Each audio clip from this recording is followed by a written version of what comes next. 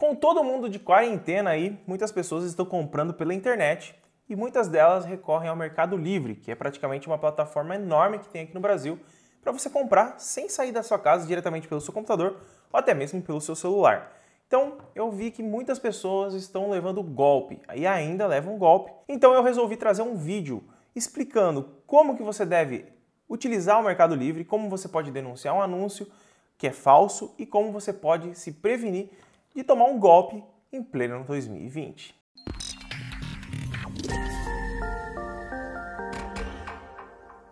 Se você não me conhece, meu nome é Luan, eu trago conteúdo de tecnologia aqui para o canal. Se você ainda não está inscrito, se inscreve aqui embaixo no botãozinho vermelho, ativa o sininho de notificação para não perder nenhum vídeo novo e, sem mais delongas, vamos aqui para a tela do computador que eu vou te ensinar como que você pode estar tá fazendo para você não levar um golpe no Mercado Livre em 2020. Aqui no computador eu já estou na tela principal aqui do Mercado Livre e muitas pessoas, o que, que elas fazem? Você vai lá pesquisar, vamos pesquisar hoje o Redmi Note 9S, que é esse smartphone que eu estou aqui na mão, que está sendo muito vendido no Mercado Livre.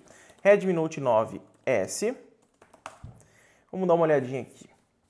Nós temos aqui alguns preços, ó, 1791, é, gira em torno de 1750, 1780, as versões de 128 GB tá 2.250 com parcelamento sem juros.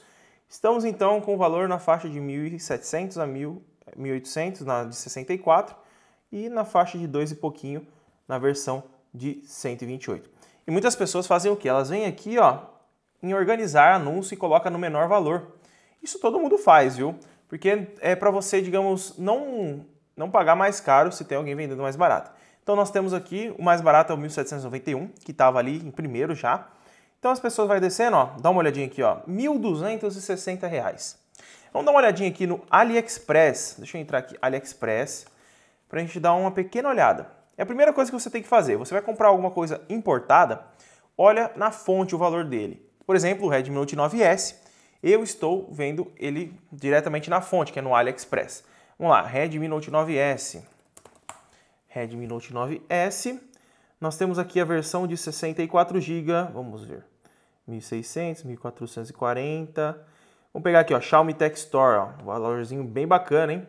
1330 na versão, deixa eu ver, 1330 mais 91 de frete, vamos por aí 1.400 e pouquinhos reais, 1.420 reais.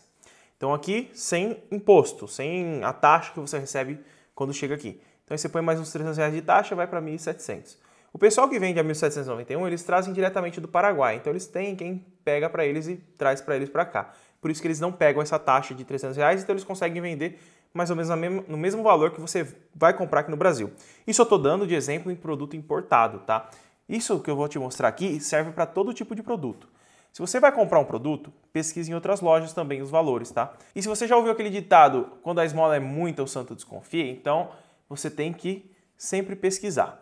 Entrando aqui no Mercado Livre, para a gente não sair muito da plataforma, vamos lá. Redmi Note 9S a R$ 1.260. Muito chamativo o valor, né? Tá mais barato que no AliExpress. Vamos ver aqui então como que está esse anúncio.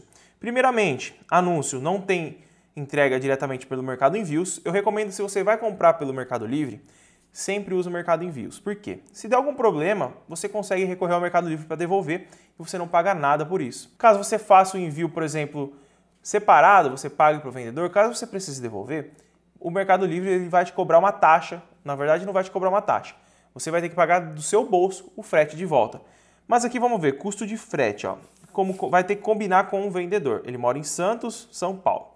Dá uma olhadinha aqui, reputação. Você sempre tem que olhar isso aqui, ó, essa parte da reputação, ó. Nós não temos praticamente nenhuma venda. Aqui nós estamos só verificando o golpe, tá? Vamos dar uma olhadinha aqui, ver mais dados deste vendedor. Ó, este usuário foi temporariamente desativado ou excluído. Então já denunciaram esse usuário aqui. Tem gente denunciando que é o certo a se fazer, né, para evitar esse tipo de pessoas usando a plataforma. Mas vamos dar uma olhadinha a mais no anúncio. Anúncio bem feitinho, ó, tudo certinho, ó, eles colocam bem bonitinho, né?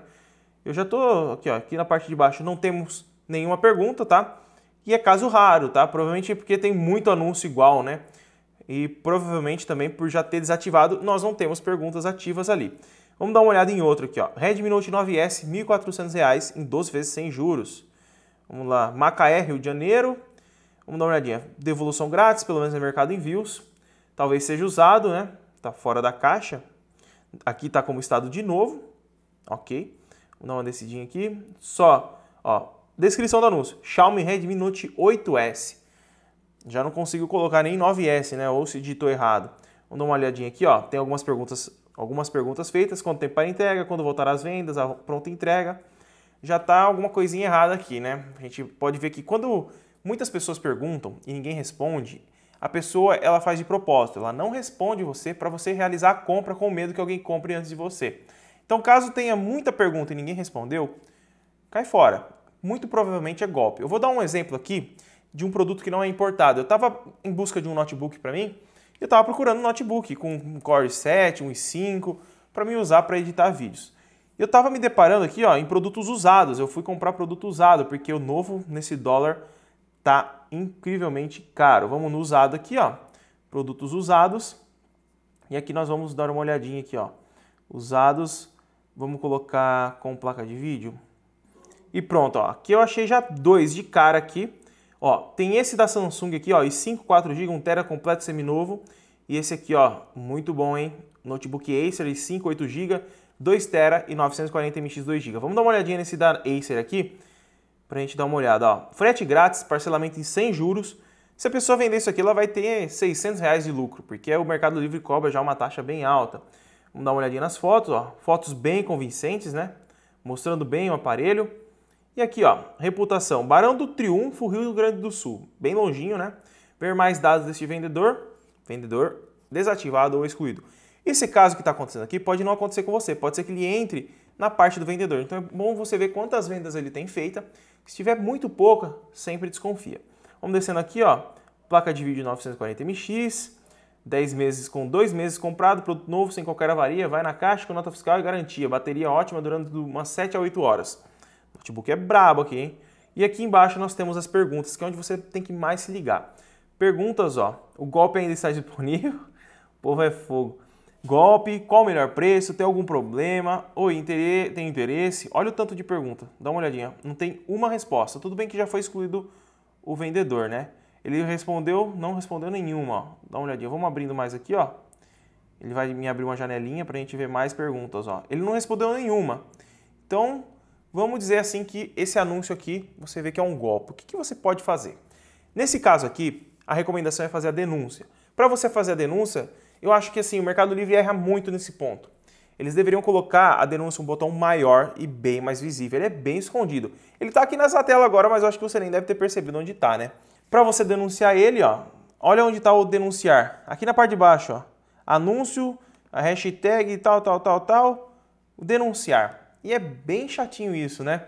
Então vamos lá, ó. não tem nenhum outro lugar denunciar, ó. Denúncia. Vamos procurar aqui, ó. Denúncia. É o único lugar que tem aqui é esse aqui, ó.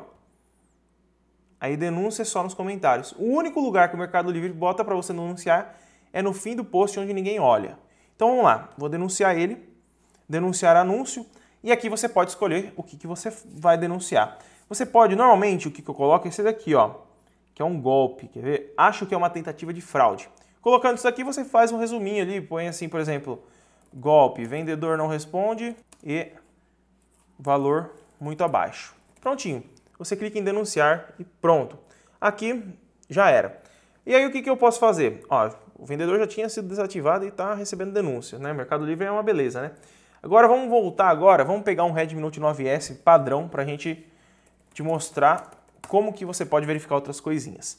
Aqui, vamos pegar esse primeiro aqui que parece ser de um vendedor confiável. O que, que você vai fazer nesse anúncio aqui? Ó? Vamos abrir ele. Abrindo ele aqui, nós temos o anúncio em si. Aqui nós não temos um anúncio padrão, né? Então, deixa eu tentar achar um anúncio padrão aqui do Mercado Livre. Pronto, eu achei um anúncio aqui só para a gente falar um pouquinho mais sobre esses anúncios. Aqui nós temos o valor do aparelho, temos o vendedor, temos a reputação dele. Ó. Quando você clica aqui, olha o que, que ele faz. Ele te mostra quantas pessoas já compraram com ele, a reputação, o que, que as pessoas falam do seu vendedor. Tá? Aqui, nós temos aqui 185 vendas em 4 meses. É bastante venda se você for ver pelo nível do usuário aqui. Uma dica que eu dou para você que vai comprar no Mercado Livre é, caso você realize a compra e depois da compra o vendedor fala, olha, eu estou com um problema aqui e eu preciso que você faça a, o pagamento diretamente por esse link. Aí ele vai te falar: esse link também é do Mercado Livre, então não tem perigo algum. Calma lá. Você não deve realizar as as, os pagamentos do que você for comprar no Mercado Livre pelo Mercado Pago, tá? Se a pessoa te manda um link de pagamento para o Mercado Pago, é um link direto, é como se fosse um PicPay, vamos supor assim.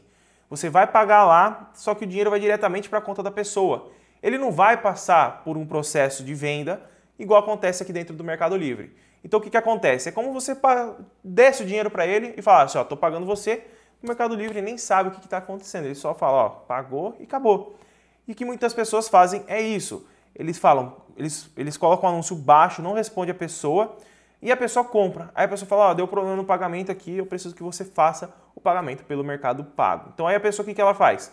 Ela vai lá e paga diretamente pelo Mercado Pago, porque é a mesma empresa. Mercado Livre e Mercado Pago são a mesma empresa. Só que as funções deles são diferentes, tá? O Mercado Pago ele tem a função de recebimento, de, de, paga, de contas, no caso. E a pessoa gera um link lá, eu posso gerar um link com 50 reais e falar, ó, você está me devendo 50 reais, paga com seu cartão aí, mês que vem você me paga. A pessoa paga, cai na minha conta e já era. A pessoa depois se vira para pagar. Isso acontece na questão de smartphone, notebook, tudo que é golpe aqui no Mercado Livre. Então o que eu recomendo para você? Vai comprar no Mercado Livre? Não saia da plataforma. Você entra aqui, ó, clica em comprar, ele vai te dar dentro da plataforma as opções todas. Se mudar essa tarja amarela que tem aqui em cima, não compre. Se ficar azul, não compre. Tá? Aqui nós temos um método de parcelamento e aqui nós podemos pôr não obrigado, que eu não quero parcelar mais. E ele vai te pedir endereço e outras coisas mais. Aqui ele vai me perguntar o endereço que eu quero enviar, vai me dar o frete, ó, tudo por aqui. E você escolhendo isso, você já está mais seguro. Por quê? Se der algum problema, o Mercado Livre está ali no intermediário entre você e o vendedor. Então, uma dica para você, não saia do Mercado Livre, tá? O pessoal falou, abre por esse link, me passa seu WhatsApp para a gente negociar. Não caia nessa história, tá? Eu sempre, quando estou vendendo smartphones no Mercado Livre, ó, eu estou vendendo um Redmi Note 9S, deixa eu só mostrar aqui para vocês.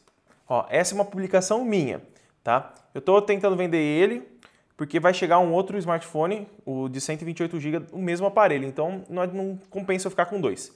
Aí o que, que acontece? Ó, eu coloquei aqui, ó, produto novo, usado apenas para geração de conteúdo, estou vendendo, pois recebi outro que comprei da China recentemente. Beleza, até aqui ok. Aí vamos para os comentários aqui, ó faz parcelamento, faz 1.600, menor valor, pagamento à vista.